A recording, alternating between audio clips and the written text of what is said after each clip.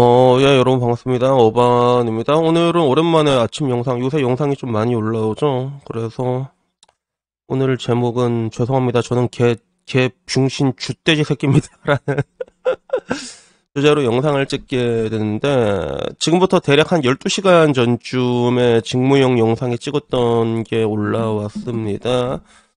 사실 뭐라고 얘기를 해야 될까? 저는 내심 이 영상이 이 인터뷰가 그냥 나는 솔직히 안 올라오길 바랬, 바랬던 것 같아. 그래서 직무형한테도 이거 조금 너무 재미가 없다. 그냥 파기하자. 그리고 영상이 좀 옛날에 찍었던 거거든. 그래서 지금 또 타이밍상 그렇게 좋지가 않은 것 같아. 그래서 그냥 파기하는 게 어떨까요? 말했는데 준내 단호해 직무 형이.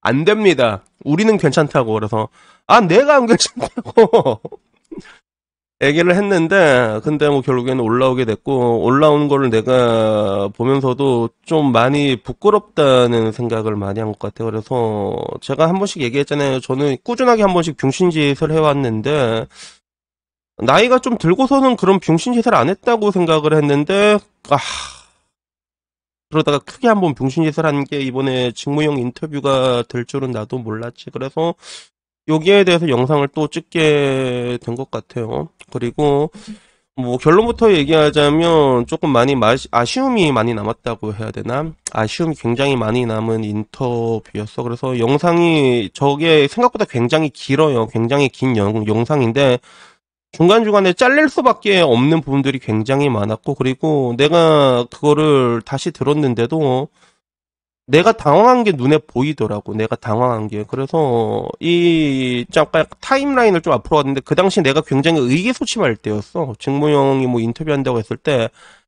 악플이 오질나게 달려.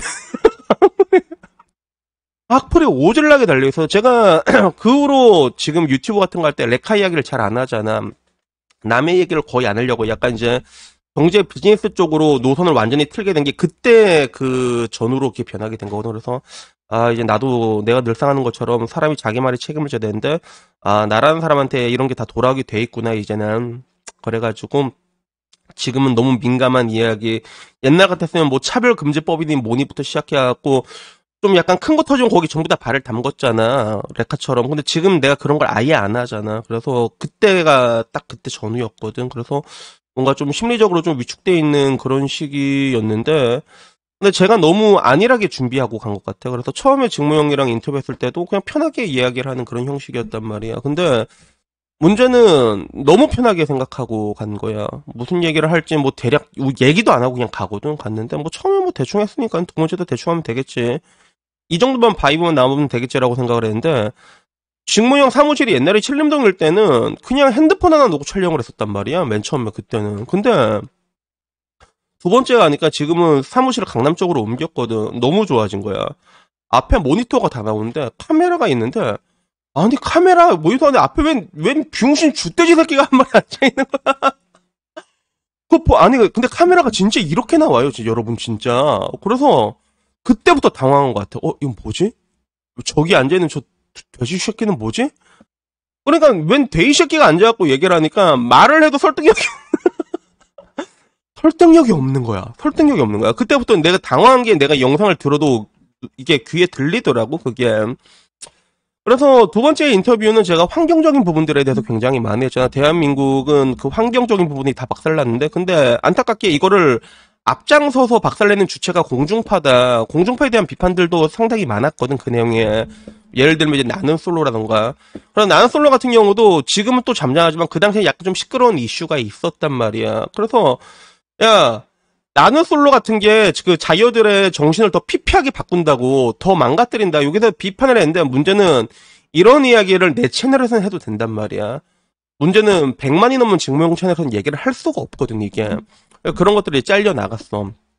잘려 나가고, 그 다음에 원래 마지막 클로징 멘트도 윤석열 대통령에게 뭐라고 한마디를 해달라는 거야, 나한테. 그래서 어차피 대통령이 이미 망했으니까, 이미 망했으니까, 남은 기간 대국적으로 할 거 딱딱딱 해서 그래도 이게 대통령의 그런 품이라는 게 있잖아. 그런 걸 지켜주십시오. 이렇게 얘기를 했는데 문제는 지금 또 이제 서계령 지금 난리 났잖아 지금. 뭐 장님 무산이 그 위에 앉아 있는 건희 누나가 뭐 주설사라니 뭐요 후지토라야. 어? 그래가지고. 지금 완전 난리가 돼 그것도 또 잘렸지 중간중간에 있었던 것들 굵직한 내용들 중에서 잘린 게 굉장히 많아 잘린 게 많고 나중에 남았는데 그걸 내가 다시 곰곰이 들으니까 굉장히 뭔가 당황스럽게 얘기를 하고 그리고 이야기 같은 것도 사실 좀 티키타카 가야 되는데 내가 너무 내 얘기만 많이 하는데 내가 얘기를 한 것도 잘하지도 못해 되게 버벅거린다는 느낌을 굉장히 많이 받았거든. 그래서 정확히 말하자면 그 모든 게 좀 당황한 데서 시작한 것들이 있죠. 그래서 내가 이 환경에서 얘기를 하면 지금 이것도 그냥 제가 지금 올리는 영상에 100개 중에서 거의 95개는 원테이크로 바로 올리는 거야. 그냥 바로바로 바로 올려버리거든. 노딱 봐도 요새는 짜증나서 그냥 올리잖아. 근데 이런 것들을 이렇게 올린다고 했을 때는 좀 내 나름대로 이렇게 편한 릴렉스한 환경에서 그런 게 나오는 게 있는데 이미 환경 자체가 변해버리고 그런 상황이 되다 보니까 너무 버벅거린 거지. 그래서 너무 부끄러운 거야. 영상을 찍고도 아, 왜 이렇게 찍었지? 너무 부끄러운 거. 이미 찍기 올라오기 전부터 알았어. 그래서 올라온 것도 다시 봤지. 와. 와, 진짜 양, 그, 진짜 Wild Turkey 이만큼 글라스로 들는 거 원샷 때리고 싶다. 진짜 너무 화가 나가지고. 내가 나한테 너무 화가 나가지고. 너무 부끄럽고 그래갖고, 아, 원샷 때리고 싶은데 일단은, 그 술을 먹지 말고 일단 자자. 그래서 요새 내가 좀 자고 일찍 일어나거든. 새벽 5시에 일어난단 말이야, 요새는. 일어나서 다시 한번 들었어 그거를 들었는데도 아 너무 못했다 그런 생각이 드는 거예요. 그래서 결국에는 못하고 이제 욕도 오질나게 먹었구나. 1년 동안 저 쥐돼지 새끼 이제 인신공격도 오지게 당하겠구나. 6년 동안도 뭐 어차피 6년 동안 당했지만 이제 앞으로 더 당하겠구나 그런 생각인데 그거는 뭐 누구를 탓할 수는 없어. 왜 내가 저지른 자승자박이니까. 아 전날에 좀 약간 매운 걸 많이 먹긴 먹는데 근데 진짜 이렇게 나오는 거야 이게 개빵떡이로 그래서 아, 이게 뭐지? 그런 것들도 있는데 근데 지나간 거잖아요 이미. 그건 뭐 지나간 건 어쩔 수 없고 그리고 뭐 자승자방인데 뭐 내가 병신같이 하고 내 누굴 탓할 거야. 그래서 결국에는 이 사건으로 내가 무엇을 얻어갈 수 있을 것인가 곰곰이 생각을 해봤어. 그리고 결론을 내린 거는 마이클 타이슨의 교훈이더라고. 누구나 그럴싸한 생각을 가지고 있잖아. 추막 추막기 전까지는 그걸 내가 똑같이 했더라고. 그냥 뭐 이렇게 나가서 대충 하면 되겠지라고 했는데 너무 아니라게 생각을 했던 거야. 하다못해 보통 얘기를 할 때는 여러분 유튜버들 보통 얘기할 때는 진짜 프롬프트 뽑아갖고 얘기하는 사람들도 있어요. 다 대사 하나 다 적어갖고 나는 근데 맨날 뭐 영상 찍으면서 야부리 털고 뭐 그 대충 그렇게 하다 보니까 그렇게만 하면 되겠지라고 생각을 했던 건데 문제는 찍어서 나온 아웃풋이 전혀 그렇게 안 나온 것들이야. 중간중간 잘리다 보니까 마지막 마무리도 뭔가 좀 이게 은간누다가 자른 것처럼 나오고 그래서 너무 못했구나 너무 못했구나. 근데 그게 하필이면 가장 잘해야 되는 내가 맨 처음에 직무형 채널에 나갔을 때는 구독자가 1000명인가 1200명인가 늘었거든. 그 당시에 내가 구독자가 4000인가 그랬을 거야. 5200까지 그냥 늘었단 말이야. 지금은 뭐 늘지도 않을 것 같아 보니까. 아 그래 왜 내가 병신처럼 인터뷰를 했으니까. 그리고 이거는 나만 욕먹는 게 아니라 직무용도 욕먹는 게 된단 말이야. 인터뷰를 내가 그렇게 병신같이 해버리면 나만 욕먹는 데서 끝난 게 아니라 직무용 입장에서도 저런 병신 새끼 왜 데리고 왔냐. 아, 직무형한테도 미안하지 결국엔 이렇게 돼버리면. 그래가지고 저는 이번 기회에 좀 많이 배웠던 것 같아요. 이번에는 좀 많이 배웠고 어차피 다음은 없을 거란 건 알고 있지만 뭐 50대 결혼 이야기가 왜 나와? 50대는 이제 죽을 준비해야지 맞잖아. 맞잖아. 30대 40대 생각 남은 건 50대인데 50대 무슨 결혼이야? 죽을 준비해야지 그때는. 어?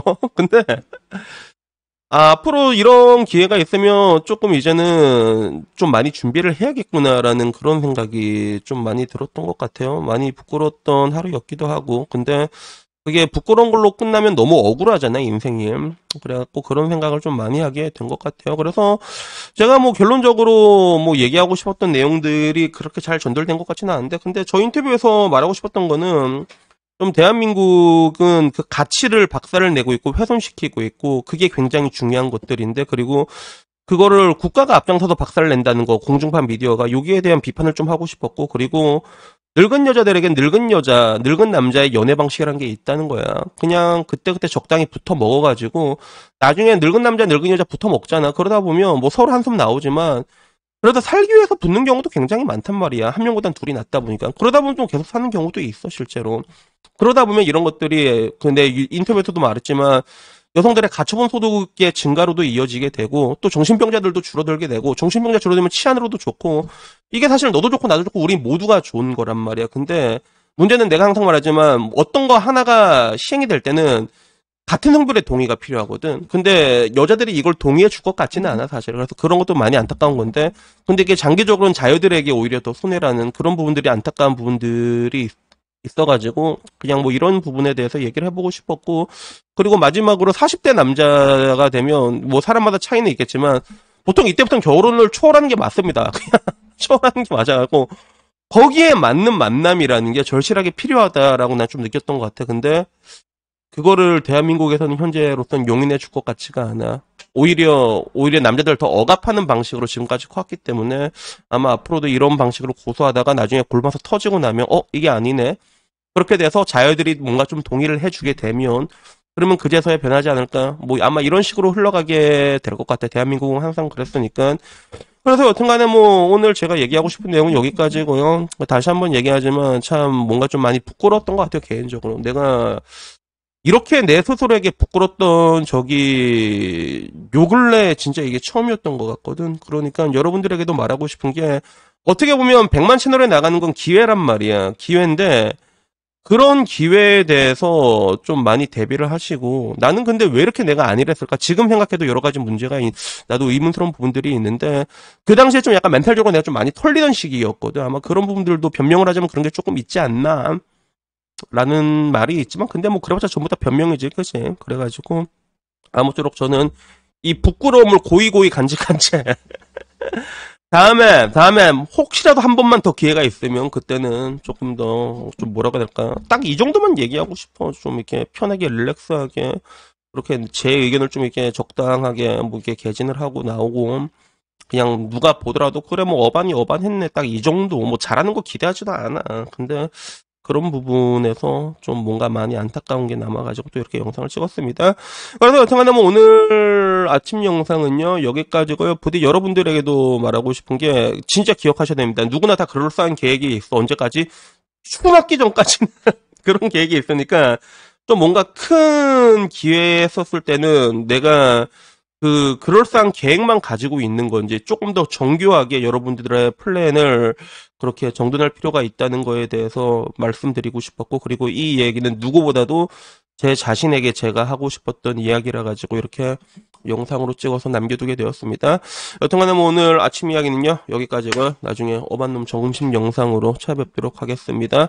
그 직무형 채널에도 영상 올라왔으니까 얼마나 빙신같이 찍은지 궁금하잖아. 링크 남겨둘 테니까 가서 구경해 주시면 감사하겠고 그럼 나중에 다른 영상으로 찾아뵙도록 하겠습니다. 이상입니다. 감사합니다. Thank you!